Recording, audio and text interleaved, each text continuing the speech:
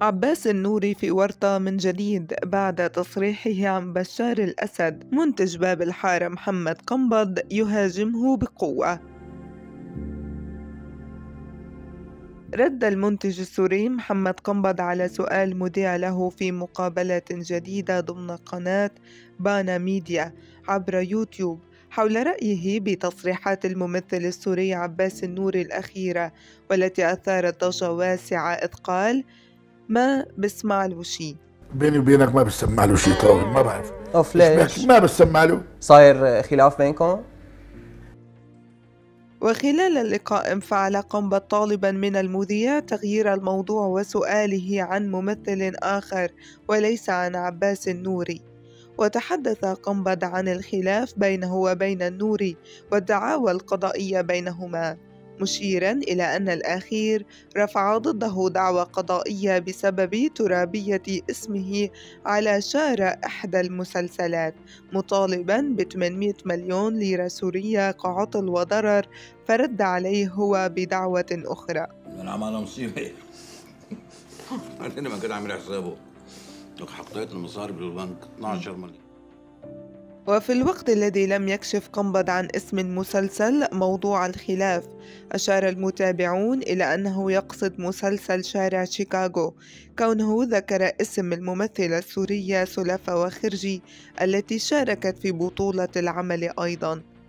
وكشف قنبض في حديثه عن الخلاف بينه وبين النوري أن الأخير كان مضى له على براء الذمة قبل أن يرفع ضده دعوى قضائية بسبب ترابية اسمه في المسلسل مؤكدا أن تصرف النوري هو افتراء عليه وعلى شركة إنتاجه.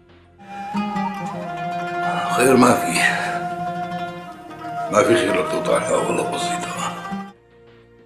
ومن ناحية أخرى كانت خرجت نور ابنة الممثل السوري عباس النوري عن صمتها وأعربت عن دعمها الكامل لوالدها بوجه حملة الانتقادات التي تعرض لها خلال اليومين الماضيين بسبب تصريحاته الجريئة عن الوضع في سوريا.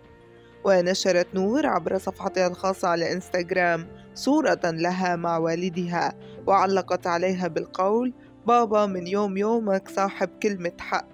ومن يوم يومك بتحكي اللي لازم ينحكى. الله يقويك ويديمك ويحميك. أنا ما بقدر أفهم على سبيل المثال كيف ممكن أنه بعد 1400 كما كتبت عبر صفحتها الخاصة على فيسبوك كم الحب والدعم والتضامن مع بابا هائل وغطى على هالحملة الحقودة اللي كان هدفها واضح لكن الحمد لله إنه الله بحبه. لهيك زارع محبته بقلوب كتار. شكرا من قلبي لكل الأصدقاء الحقيقيين ولكل الأقرباء المحبين ولكل الفنانين الشرفاء ولكل إنسان محب. يا ريت فيني أذكر كل الأسماء لكن الحمد لله إنهن كتار. كتير كتار.